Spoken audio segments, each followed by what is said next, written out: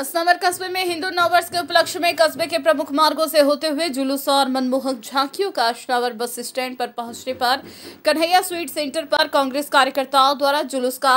पुष्प वर्षा कर स्वागत किया गया जिसमें पूर्व उप प्रधान भवानी सिंह गुज्जर जनपद अशनावर राधेश्याम भेल बड़ोदिया सरपंच बालचंद्र पाटीदार जिलाध्यक्ष कांग्रेस सेवा दल यंग ब्रिगेड नईम पठान लावसल पूर्व सरपंच कमलेश गुज्जर सहित अनेक कार्यकर्ता मौजूद रहे